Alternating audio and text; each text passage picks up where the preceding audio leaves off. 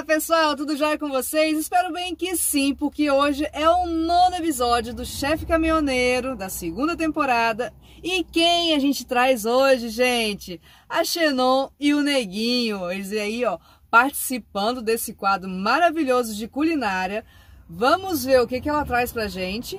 Comida ali, ó, paradinha, caminhão lá já carregando, tá, gente? É, até nesses momentos aí, ó, quem já, né, só quando vai fazer pausa, não. Tem as pausas dentro de cliente que a gente tem que fazer comida, né? Porque a gente tem que abastecer o corpício, né? E quase que ninguém perde a comida aí, quase. Atenção aí ao vídeo, ó.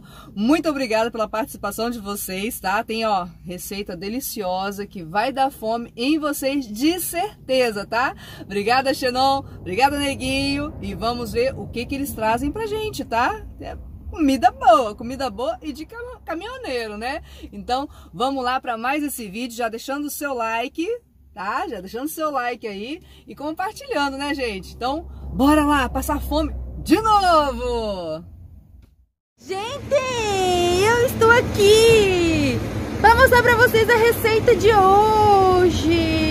Olha onde nós estamos. Um L total, ó. Sejam bem-vindos ao canal Xenon Neguinho e espero que vocês gostem da receita de hoje. A receita que eu vou é, passar para vocês, tá bom, gente? Olha só, o floco de neve está... Pensa só, gente, olha só. Olha, o... olha só como ele tá. Todo em L, né? Que olha, para carregar aqui, né? Estamos no Ceasa, aqui no famoso CEAGESP, aqui em São Paulo. Lógico, né?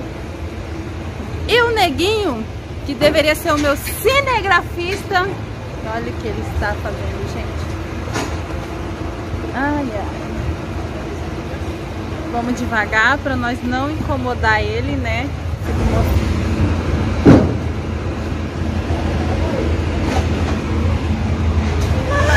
É isso aí, pessoal.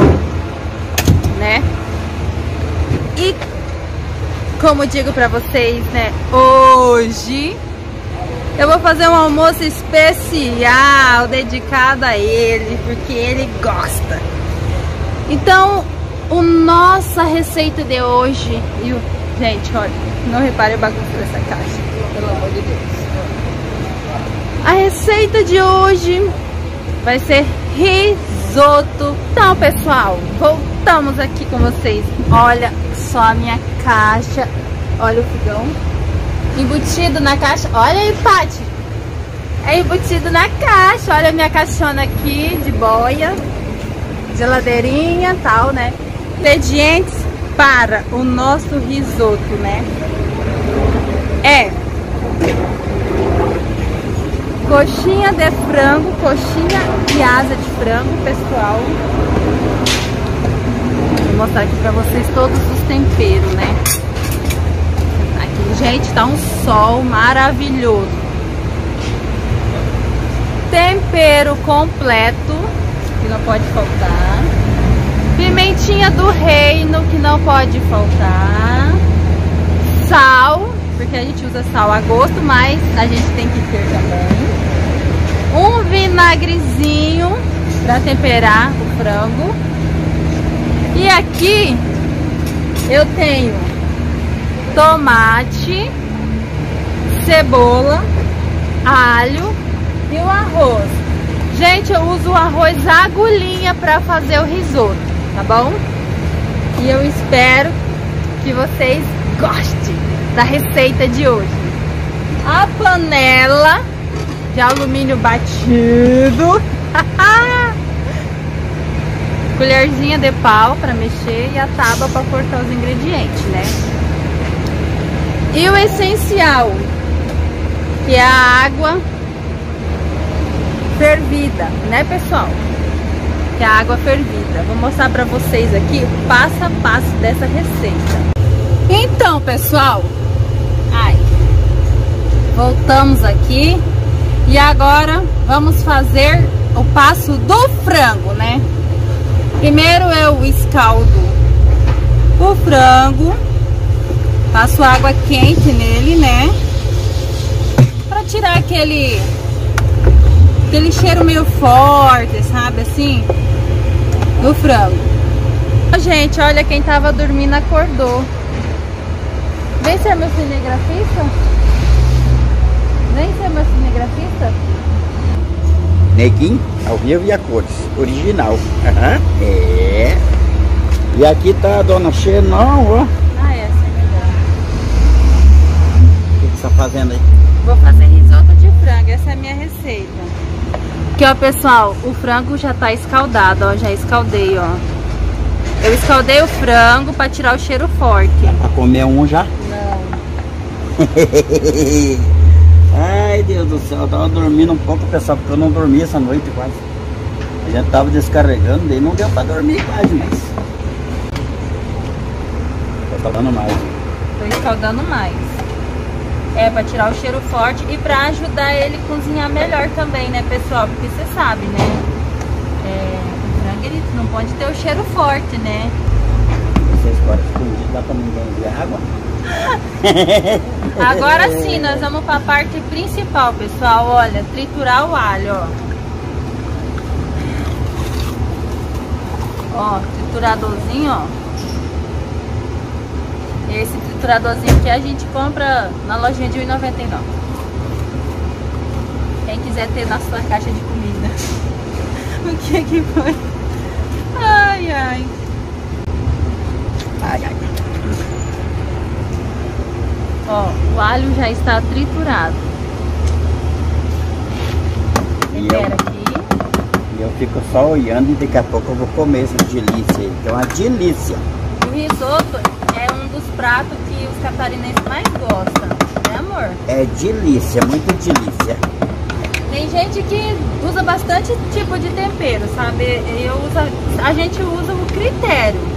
Eu uso o meu critério, aquele que eu gosto, sabe, Olha aí, gente? tem que pegar ó, quando...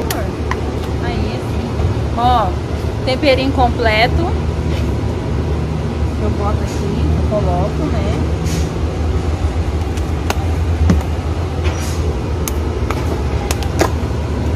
Uma pitadinha de pimentinha do reino.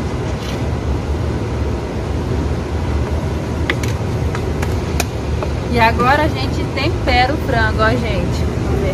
Olha aí. Tempera ele. E eu como semiga da frista, como é que é? Cinegrafista. Ah, se, é, é semiga, eu sou bom. Aham. Olha, o frango já tá temperado, gente. Agora eu já volto para mostrar o segredo do frango para vocês. Agora pego a panela de alumínio batido, gente. O segredo pro frango ficar coradinho e ficar aquele risoto coradinho, você coloca uma pitadinha de açúcar no fundo da panela e queima. Esse é o segredo, gente. É, Segredos da Xenon, tá bom? Segredo da Xenon. é segredo da Xenon. Oh, vocês vão ver que delícia. Vocês vão- Vocês vão ver, só experimentar que delícia que é. Vai também? É só uma pitadinha, olha aqui, ó. Vamos ver se vocês conseguem ver. Ó, viu? É uma pitadinha de açúcar e queima. Ficar o frango, eu uso banha, gente. Eu não uso óleo de soja. Vocês não que o litro tá meio bonitinho, mas é, faz parte também. Essa aí faz O- parte do- A banha é pra dar mais sabor no frango. Gente, olha aqui, já está corado o açúcar. Mostra aqui, neguinho, o açúcar queimadinho. Olha. E agora eu ponho a banha, ó. Pra fritar o frango. Deixa ela ficar bem quente, que ela tem que estar pocando de quente. O frango já está temperado, ó. Tempero da Xenon, né? Tempero completo. Eu uso, eu uso basicamente mais temperos naturais, tá, gente? Você coloca com o tempero do vinagre. Ou se tu quiser usar Limão também é critério. Eu coloquei vinagre, porque eu gosto do vinagre mais, né? Mas aí você coloca tudo, pra pegar sabor do tempero no frango. A banha já tá pocando de quente, ó.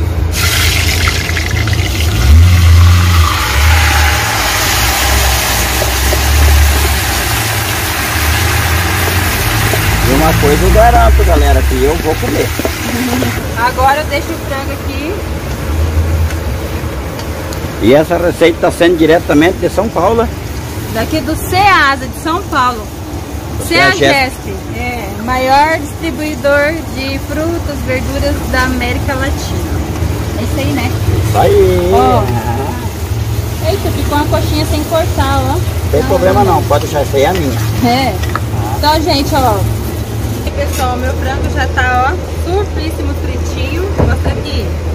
Cameraman, mostra o franguinho frito. Olha. O frango já tá frito, ó. Pode ver que tá coradinho, ó. Agora, o que que eu faço? Vou escorrer esta banha, né? Olha, vou escorrer a banha.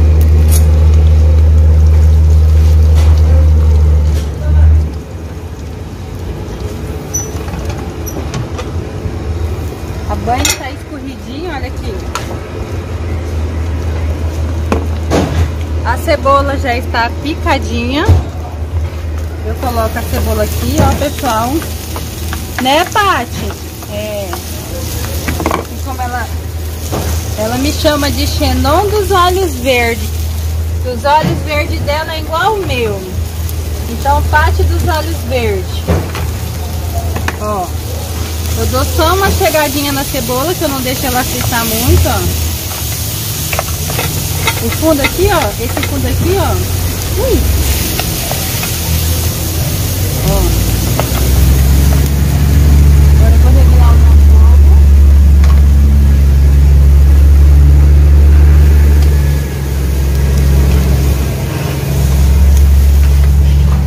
Agora eu pego o arroz agulhinha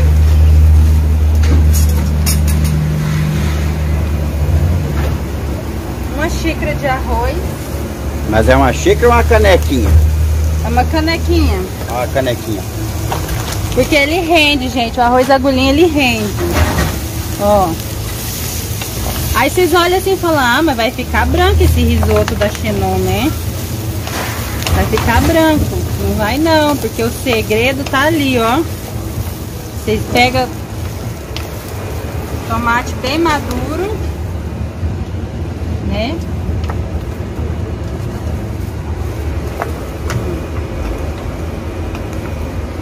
Pega o tomate madurinho, ó. Olha que parte dos olhos verdes, ó. Galera aí, ó. Coloca o tomate. Eu coloco tomate depois que eu coloco arroz. Porque ele solta água, então ele já solta aqui no arroz, ó. Vocês vão ver o arroz, vai ficar, o arroz vai ficar vermelhinho. E o tomate vai dar um sabor maravilhoso. Vou fazer uma salada de pepininho para acompanhar. Pepino japonês, gente. Ó, pode ver que já tá pegando cor aqui, ó.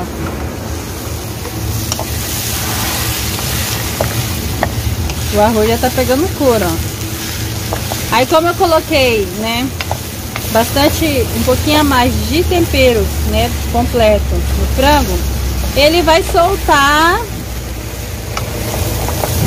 ele vai soltar no arroz. E aí, caso ficar meio sem sal, você só coloca a critério, né? A gosto. Vou colocar água, gente. Na verdade, a água você coloca a quantidade a mais, igual você vai fazer arroz em casa, normal, sabe? Eu coloco bastante água, porque o risoto ele tem que ficar molhadinho, sabe? Agora eu deixo ele cozinhar aqui. Vamos ver se tá bom de sal.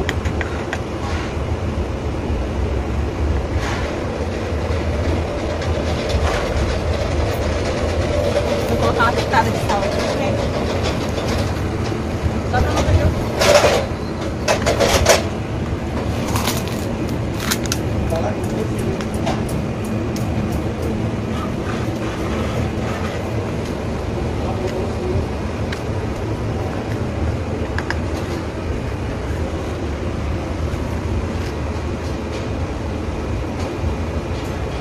Como é que tá aí? Tá bom agora. Então, galera, vai lá pra vocês aí, ó. O segredo do risoto... Hã? O fogo tá muito alto, não tá? Não? É que se for muito baixo ele não vai apurar bom. O segredo do risoto é você ter que mexer ele.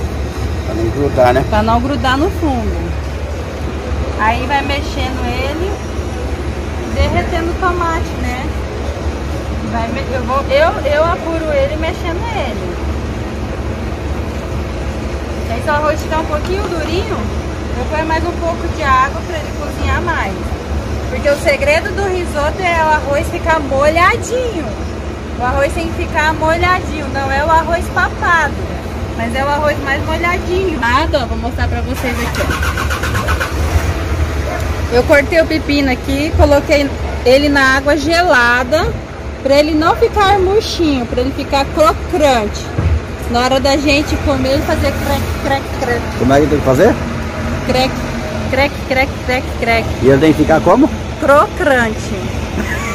Crec, Aí eu pus na sombra aqui e estamos apurando aqui o risoto, ó, gente, ó. Agora eu vou tampar um pouquinho a panela para deixar abafado, para ajudar no cozimento do arroz. Gente, o risoto ficou pronto.